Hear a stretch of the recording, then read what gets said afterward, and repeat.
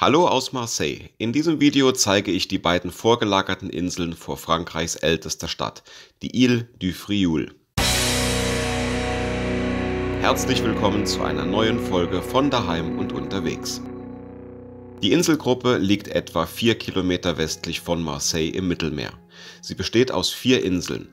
Pomègue im Süden, Ratonneau im Norden, Tiboulon im Westen und der Ile d'If im Osten Sie ist bereits hier zu sehen. Berühmt ist die Ile d'If besonders wegen des Château d'If, dessen Gefängnis im Roman Der Graf von Monte Cristo von Alexandre Dumas eine zentrale Rolle spielt. Die Insel ist gerade mal 280 Meter lang und 80 Meter breit, aber gerade im Sommer drängen sich hier die Touristen in die berühmte ehemalige Festung. Man kann von hier aus immer wieder beeindruckende Blicke zurück auf Marseille werfen. Allein hierzu lohnt sich der Besuch. Wie kam es zu dieser Festung? Der französische König Franz I. machte 1515 in Marseille Halt. Hierbei stellte er fest, dass die Stadt keinen Schutz gegen eine Invasion besaß, und so befahl er den Bau einer Festung auf dieser vorgelagerten Insel, um die Hafeneinfahrt zu schützen.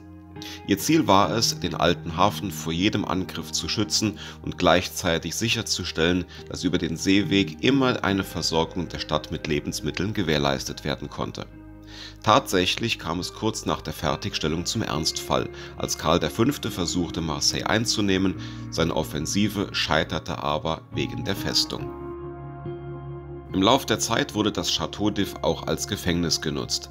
Das geschah aufgrund seiner geografischen Lage und der Architektur. Von hier erschien ein Ausbruch unmöglich.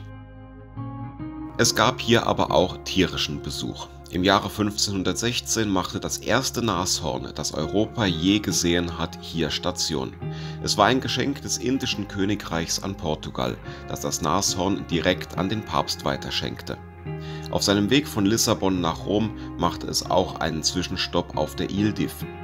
Das bis dahin für Europäer unbekannte Tier wurde für einige Wochen zu einer echten Attraktion der Stadtbewohner. Anschließend ging es mit dem Schiff weiter nach Italien, Dort kam es aber nie an, denn das Schiff zerschellte nördlich von La Spezia in einem heftigen Sturm. Das Nashorn wurde tot an der Küste angespült und der Papst erhielt das Tier nur ausgestopft. Weiter geht es zu den beiden größten Inseln der Inselgruppe, Pomègue und Ratonneau.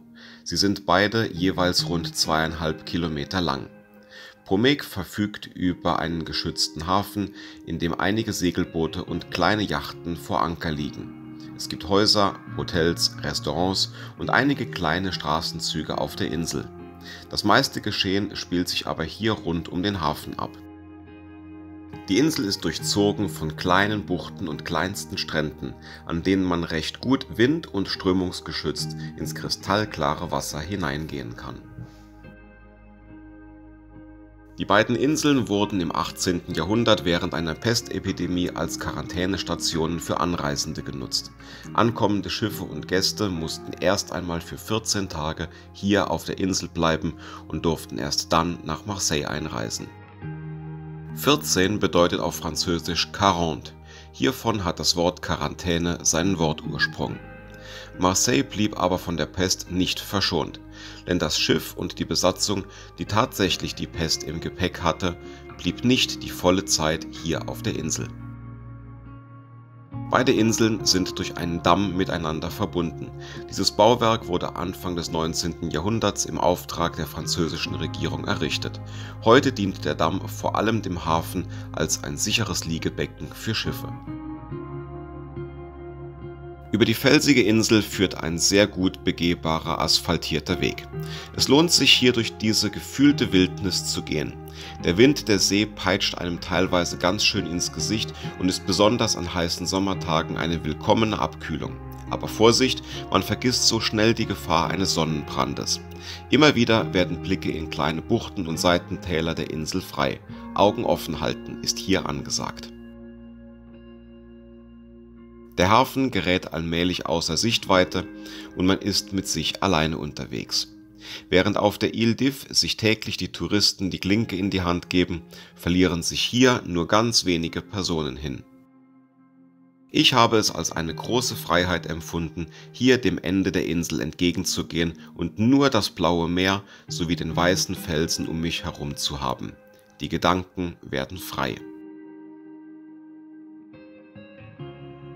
Ist man am Leuchtturm am Ende von Ratonneau angekommen, dann bleibt nur noch, sich zurück umzudrehen und den Weg zurückzunehmen.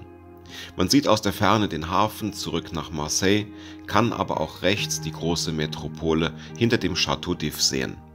Aus meiner Sicht ist dies ein echter Insider-Tipp für Marseille-Besucher, die länger als nur einen Tag hier bleiben. Ich komme gerne wieder auf diese Inseln zurück. Wenn du dich für weitere Sehenswürdigkeiten aus Frankreich interessierst, dann findest du in der beigefügten Playlist bestimmt ein weiteres Video für dich. Bis hierhin sage ich vielen Dank fürs Zuschauen und bis zum nächsten Mal.